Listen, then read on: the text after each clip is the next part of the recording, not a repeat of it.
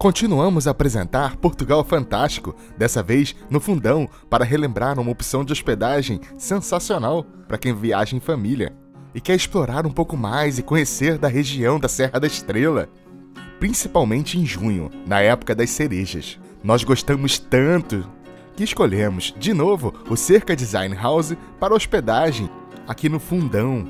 Se você clicar no link aqui no canto direito superior da tela, você vai poder lembrar e assistir um vídeo completinho sobre toda essa história de cereja. Mas calma, não vai agora não. Lá no final do vídeo também vai ter outro card para você clicar e ir direto pro vídeo. Porque agora nós vamos falar um pouco mais da Beira Alta. Mas vou deixar umas imagens aqui para você não ficar tão curioso assim, vai.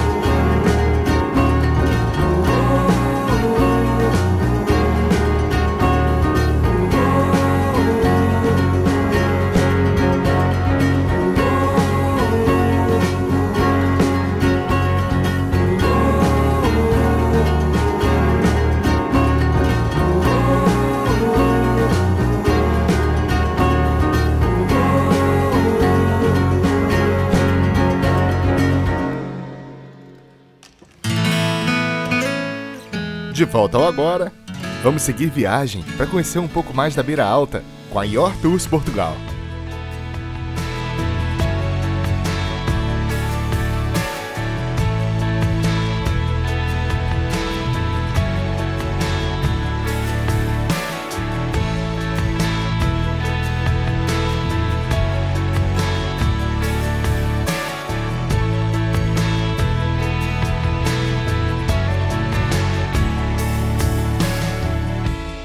Continuamos nossa viagem pelo centro de Portugal e agora a gente está em Trancoso. Bom, esse nome vem porque aqui tinham muitas árvores com troncos enormes, bem troncosos, exatamente como essa daqui de trás.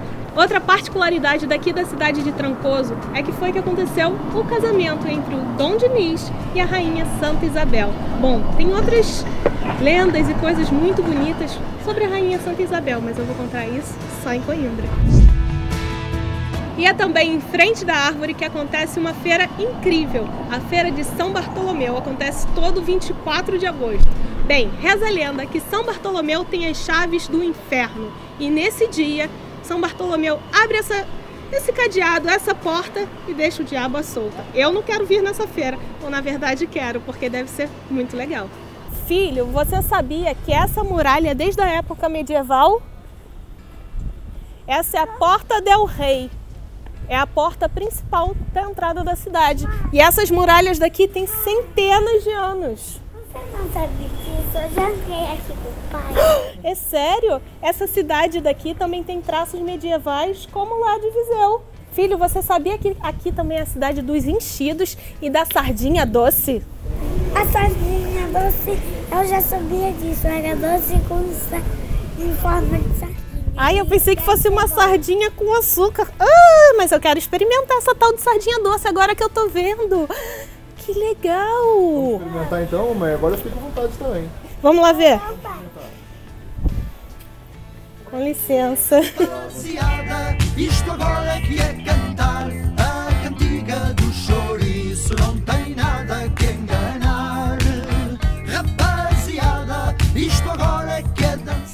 Então essas são as sardinhas doces, que não Sim. tem nada a ver com sardinha não, normal. apenas o formato. Isto é feito com creme de ovo com amêndoa, depois é uma massa fininha que leva canela, coberta com uma calda de chocolate. Eu quero experimentar uma, por favor. Eu também. Deve ser muito bom. Quem vai comer primeiro? Uma sardinha doce. Olha só. Tem formato de sardinha.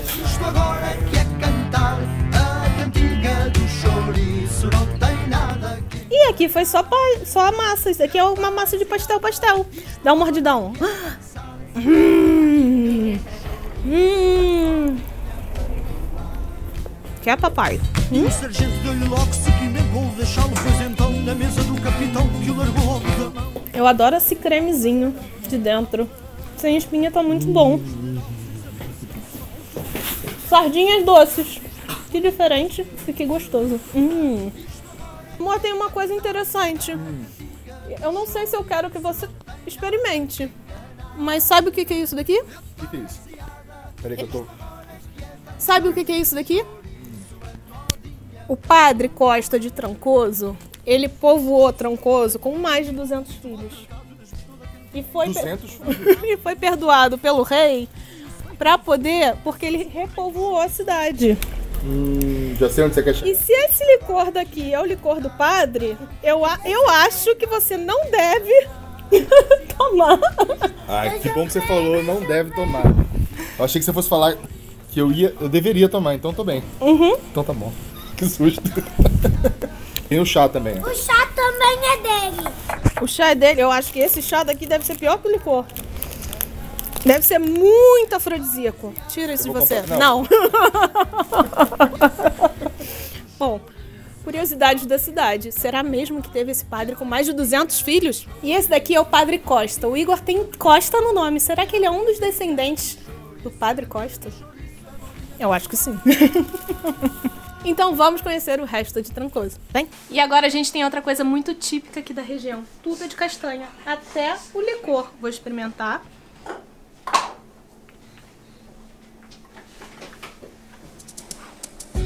E é bem saboroso.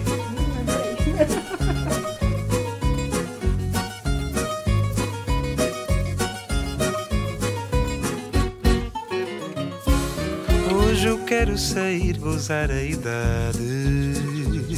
Vestir o meu melhor sorriso, viver a cidade. Carregar no perfume, no licor do costume. Esquecer a tristeza para variar. Hoje só me apetece dançar.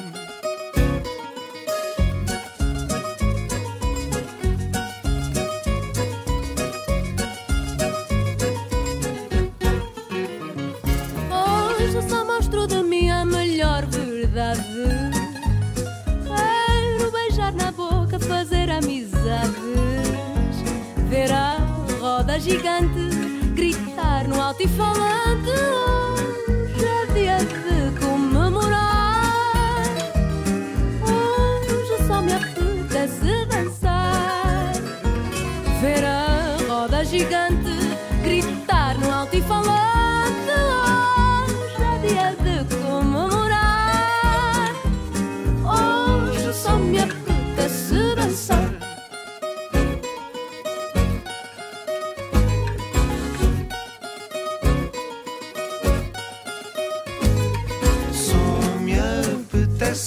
dançar.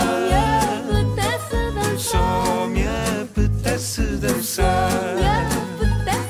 Só me apetece dançar. Só me apetece dançar. Trancoso encontra-se ainda hoje rodeada de muralhas da época de Dom Dinis, assim como também possui um belo castelo medieval a coroar esse conjunto fortificado. Trancoso foi uma das mais importantes vilas medievais portuguesas, já que, devido à sua posição estratégica, a 900 metros de altitude, constitui um dos pontos mais avançados da reconquista cristã para o sul. Do alto da colina, a vista é fantástica e o sol gostosinho no finalzinho do inverno nos presenteou com uma manhã divertida. Trancoso apresenta numerosos monumentos da arquitetura civil e religiosa e constitui um dos mais belos e expressivos centros históricos do país, visitado anualmente por muitas milhares de pessoas.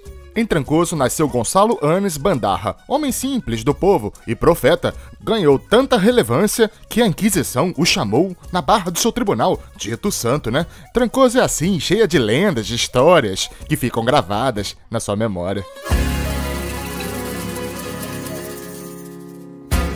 Implantada na paisagem montanhosa da Serra da Estrela, a Guarda foi um dos mais importantes redutos de um conjunto de fortificações que defendiam a fronteira portuguesa com Castela e Leão na Idade Média. O meu coração é um viajante que se entrega num instante por aí aonde for. Acha que sabe bem o que eu preciso, prende-se a qualquer sorriso sem motivos de maior.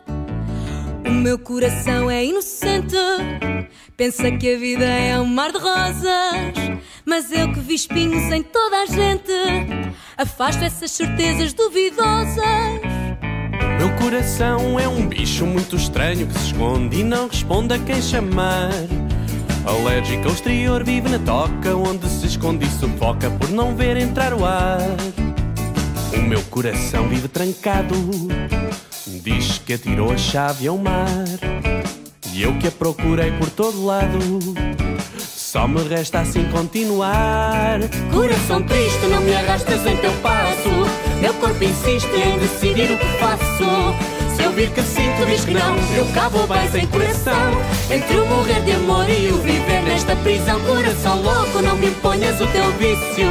Que a pouco e pouco vou cedendo ao sacrifício. É que eu sei bem que se acordares e procurares por aí, encontras outro coração para ti. Entre ruas e vielas, o nosso guia Arthur, da Your Tours, nos contava curiosidades sobre a cidade. Aqui atrás de mim é a Torre dos Ferreiros.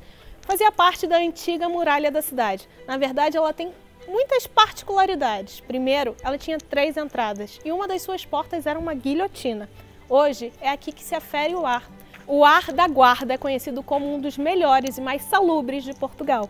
Infelizmente, hoje está em obras e a gente não vai conseguir conhecer, mas é um motivo para a gente voltar. Bom, nós estamos aqui na Cidade da Guarda. A Cidade da Guarda é a cidade mais alta de Portugal e há que atentar ao facto que é a cidade mais alta e não a aldeia mais alta, porque essa é do Sabugueiro. Uh, a Cidade da Guarda é também conhecida pela cidade dos 5 Fs, forte, farta, fria, fiel e formosa. Forte devido às muralhas que ela tinha, à torre do castelo que permitia protegê-la e também ao facto da catedral ser uma catedral fortificada. Uh, farta pela abundância que o Val do Mondego tem na produção fria, porque claramente consegue-se perceber com este vento agradável o quão quente ela é, que é nada, e porque é, é, está situada na Serra da Estrela, daí ter este frio. Fiel, porque ao longo do tempo nunca se rendeu ao inimigo, e sobretudo o episódio em que o bisavô de Pedro Álvares Cabral uh, era alcaide da cidade e quando o rei de Castela queria as chaves da cidade, ele recusou-se a entregar-lhes sempre, daí ser tida como fiel, e Formosa, devido à sua beleza natural, a estar aqui situada nesta altitude e por isso toda a gente a considerar muito bela. A cidade da Guarda teve carta de foral a 27 de novembro de 1199 por Dom Sancho I, o filho de Afonso Henriques. Dom Sancho I, este senhor que está aqui atrás na estátua, e por isso mesmo é que ele está aqui. Antigamente ele estava no centro da praça, decidiram retirá-lo para recuperar a praça e as pessoas zangaram-se muito porque não podiam ficar sem o Dom Sancho e então para apaziguar os ânimos puseram-no aqui no canto ao lado da catedral, se bem que as pessoas continuam a não gostar muito dele aqui.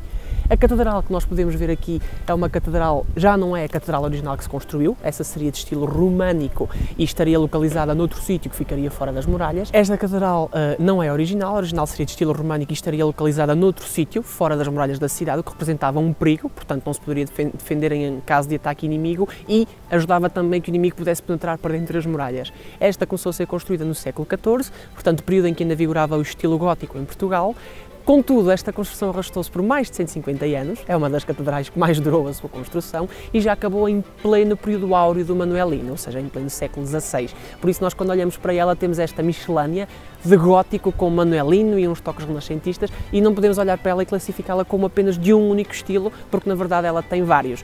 Por exemplo, o portal da fachada principal é manuelino, eh, vemos as janelas que têm traços bem góticos, ehm, alguns arcos também, mas depois mais decoração manuelina à volta de outras, é esta miscelânea. Esta fachada que nós temos aqui à nossa frente é a parte lateral da Sé, ela tem uma planta em forma de cruz latina, como a generalidade das catedrais, portanto esta é a fachada lateral, só que como esta fachada vira para a Praça Velha e está aqui com esta escadaria torna mais imponente e pelo facto de virar aqui para, para a praça é mais cómodo as pessoas entrarem e saírem da catedral, normalmente é tida por erro como a, a, fachada principal da catedral, mas não, a fachada principal situa-se lá mais abaixo, que tem duas torres sineiras em forma de octógono algo que não é muito comum também numa catedral. Uh, este facto, ela quando vista de frente com aquelas duas torres chineiras, lembra-nos mais uma fortificação, um castelo assim com torres de proteção do que propriamente uma catedral. Mas a função também era mesmo essa, porque uma catedral devia também ser fortificada porque ajudava na proteção das cidades.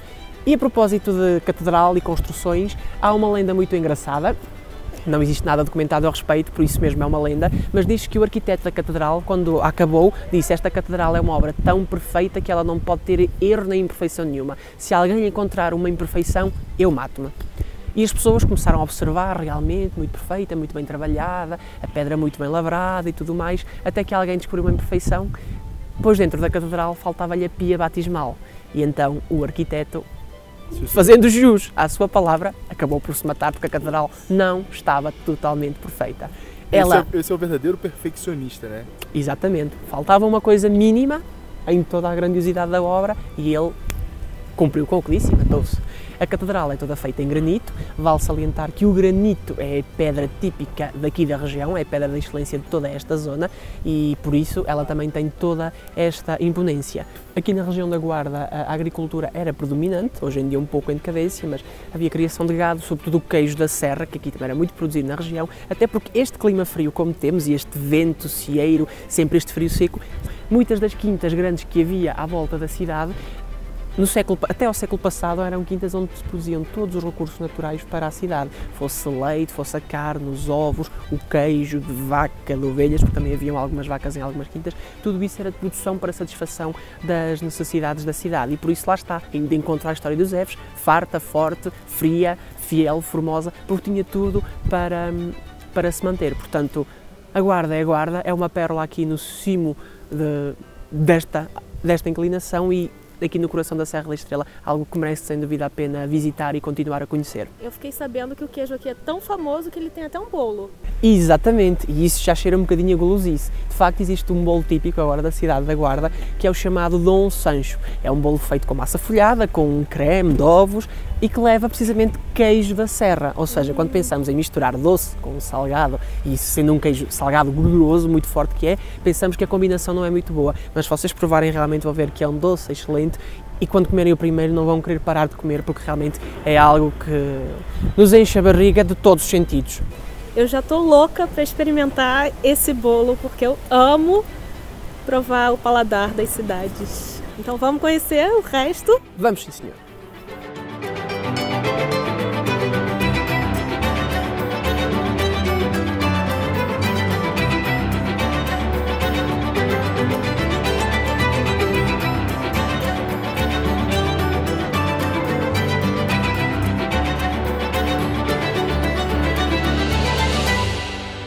Situada num vasto planalto sobre o rio Coa, Almeida foi uma das mais importantes praças fortes de Portugal durante a Idade Moderna.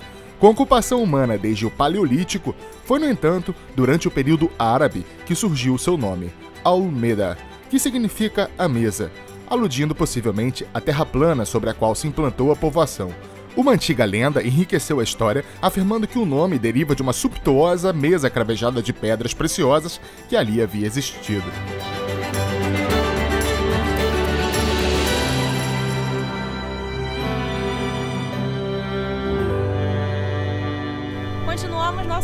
Pelo centro de Portugal e agora a gente está em Almeida. Eu estou sentada exatamente na fortificação. É uma fortificação que, vista do alto, é uma estrela de 12 pontas.